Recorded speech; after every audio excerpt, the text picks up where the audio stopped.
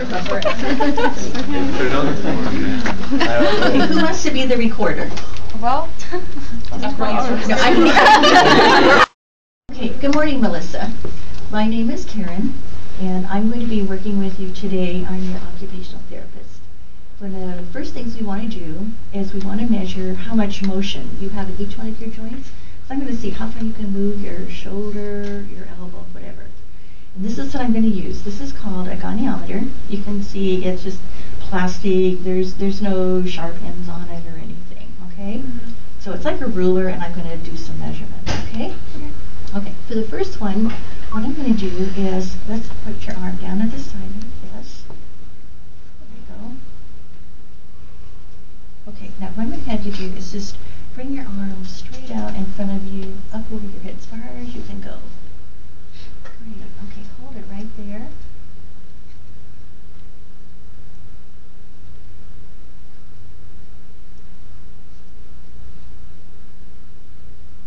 Okay, you can put your arm down now. Okay, your shoulder flexion went from 0 to 55.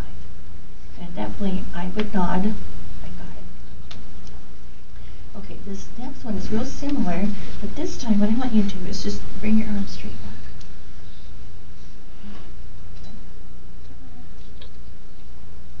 Okay, now your arm. That was 0 to 75 degrees extension. This next one, I'm going to come behind you. Just have your arm hang down like this, and let's turn your thumb out. Okay, now for this one, bring your arm straight out to the side, up over your head as far as you can go.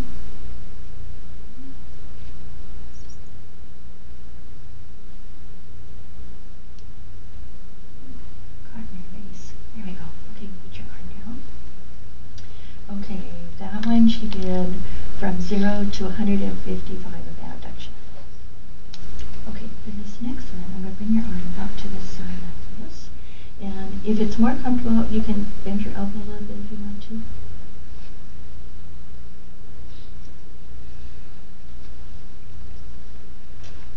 Okay, now what I'm going to have you do, bring your arm across in front of you like you're going to touch your opposite shoulder.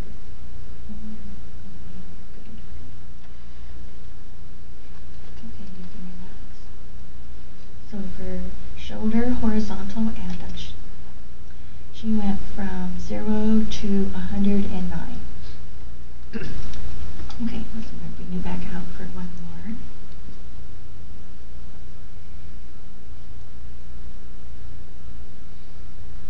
Okay, for this one, I want you to just bring your arm back, and your elbow or your whole arm, whatever is easiest. Okay, relax. For horizontal adduction, she went zero, moved a bit, zero to 85. Okay. Now, for the last one your shoulder, we're going to bring you out like this. There you go. Now, for the first one, what I want you to do is just bring your hand up like you're going to point to the ceiling. Good.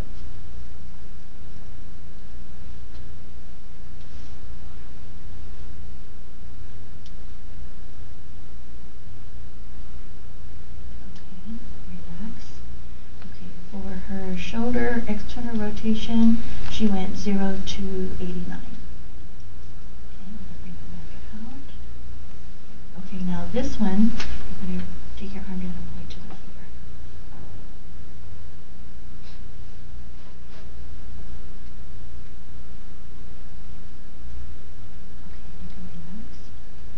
Okay. For shoulder internal rotation, she went 0 to 50 degrees. Okay, now for this next one, I'm bring your arm down to the side like this. Okay, let's just do this. Okay, can you straighten out your elbow for me? See how far you can. Okay, okay, bring me back down like this. What I want you to do is just do this motion, so you're you're straight here. There you go. Okay.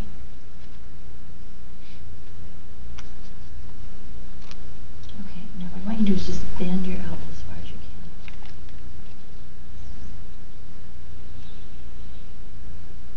Okay, you can relax. Elbow extension flexion was 0 to 30, 136 degrees. Okay, now for this one, we're going to tuck your elbow right here. Okay. For this first one, what I'm going to have you do is just turn your palm facing up? Okay, go ahead and turn your palm up. Get this flat right in the center. Okay, and you can relax. Okay, zero to 80, 83 degrees of supination. Okay, now we're going to come back in that position. Right there. Okay, now this time I'm going to have you do is turn palm down. There you go. You want to be above the styloid. Okay, relax. She went 0 to 75 degrees pronation. Okay, now what we're going to do is we're going to scoot over to that tabletop. And I'll have the tables close that they don't have to move. Set up the run that way. Okay, so the first thing I'm going to do is let's your hand like this. And you can relax your thumb a little bit.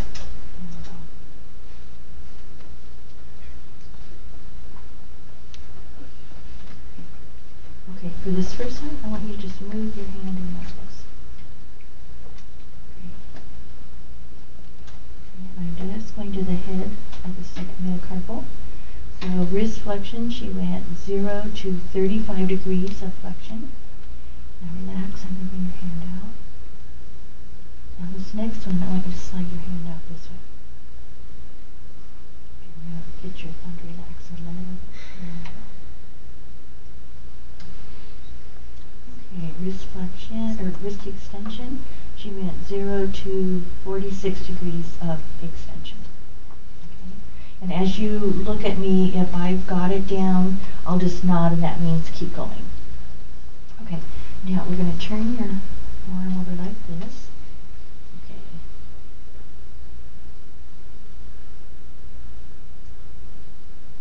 Okay, now what I want you to do is just slide your hand towards your little finger side. There you go. Okay, ulnar deviation was 0 to 36 degrees. And then straighten your hand. Now this time I want you to slide it towards your thumb side. Okay, and radial deviation is 0 to 20 degrees.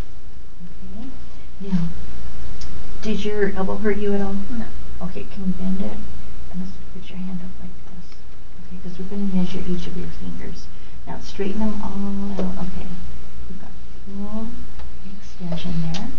Okay, good. Now just bend them at this joint right here. Bend them like that.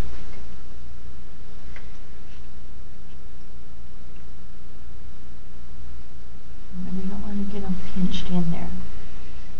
Okay, so she goes 0 to 59 degrees of MP flexion. Remember, you only have to do one finger. Okay, now relax these. Now just bend the ones at the end. As far as you can. There you go. And sit your. And I'll have these little ones for you to use too.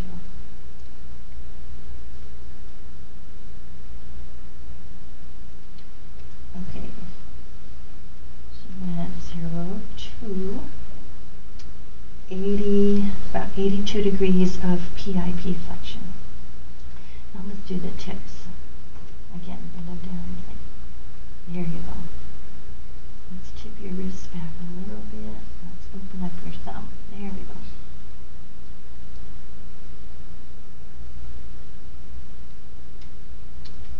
Okay, that one is 0 to 85 degrees of flexion.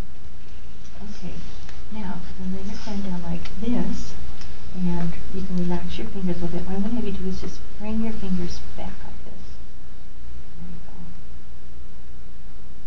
Relax that little thumb again. Okay, hyperextension of MP is 0 to 20.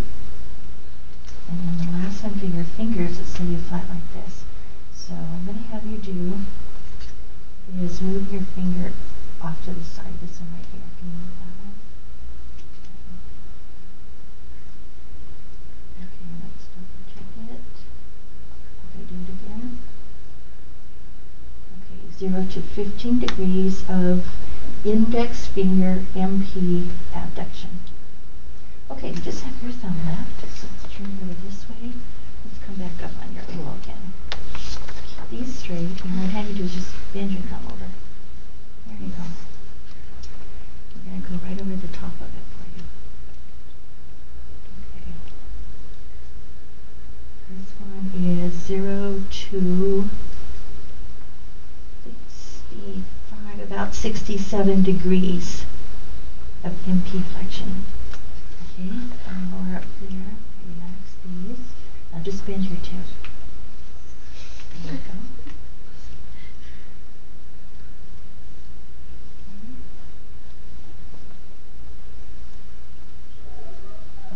Is 0 to 65 of IP flexion. Okay, for the last two, we're going to lay your hand down like this and put your thumb right next to the index finger like that. Okay. This one is really loose, so I'm just to, I'll make sure yours aren't, aren't loose. It makes it hard to hang on to it. Okay, then what you do is just bring your thumb out like this away from your hand.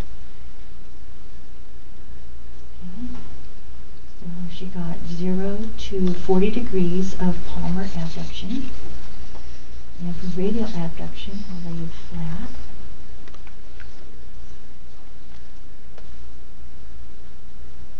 Okay, this time slide your thumb out. Okay.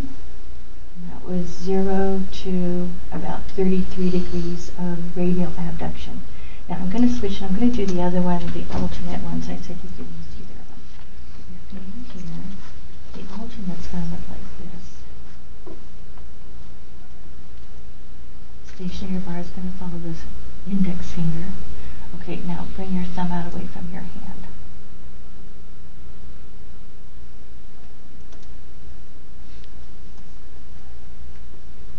Okay, that's 0 to 55 degrees of palmar abduction. And let's go over here and do this one.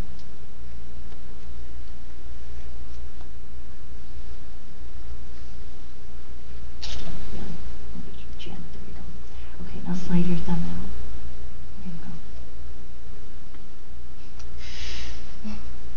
Okay, that's 0 to 52 degrees of radial abduction. Okay, and then you're done.